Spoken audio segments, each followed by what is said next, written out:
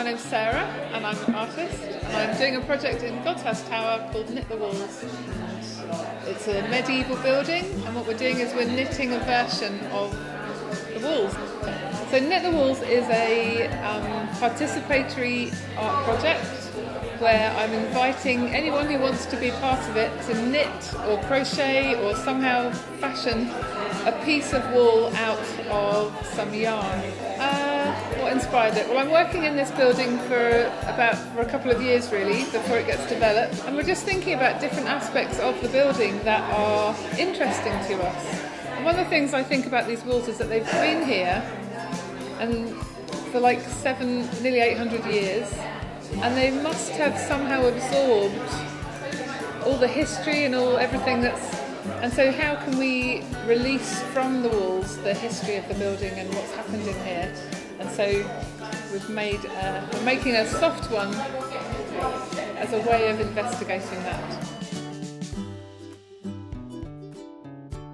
So people can knit in their own home or in the pub or wherever they happen to be to knit the walls as well. So you don't have to be part of one of these groups. About once a month I meet with people and what we tend to do now the weather's nicer and it's warmer in here is we actually meet in God's House Tower. But we've met in other places as well. So I've met with people in my home, we've met in various pubs, we've met in the art house. So yes, but for, I think for the next couple of months it's probably going to be in this building. I came to the 700 Women event, so I heard about it first then. I'm married to Sarah Filmer, who's the artist that's leading this bit of work, so she told me. I know Sarah, I did the blue jumper, and so naturally it seems right to move on to knitting walls, which is what we should all be doing. I think I first saw it on Facebook. I think word of mouth, that's how I heard about it.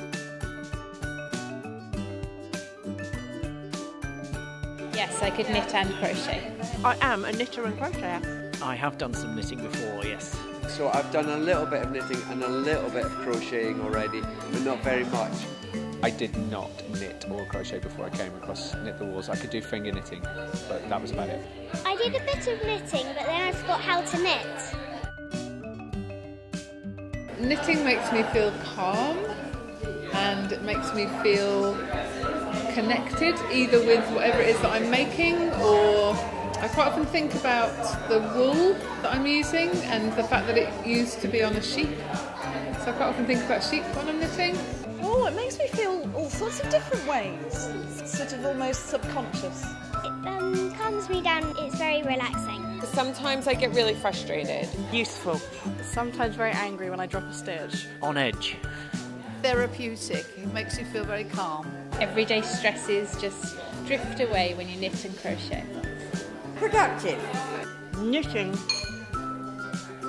fulfills my role in life. I really enjoy knitting with other people and having something to do while you chat. I also really like watching Sarah achieving what she wants to achieve. So she's got lots of ambitions for Knit the Walls, and it's a, a great project. So I, I feel kind of proud of what she's doing as well. It's a nice way to think about the walls in from a different perspective, and I like seeing the different walls people have used to knit it, and I like that everyone can have a go. Sociability, community, chatting. Because it's such a friendly group, you know, very nice, lovely people.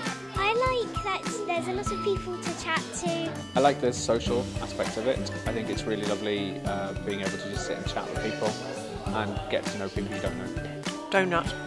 I like how anything is accepted by it. Being free not to follow a pattern. You meet friends here and it's fun. Generally a very, very good idea. Anyone can come and knit the walls.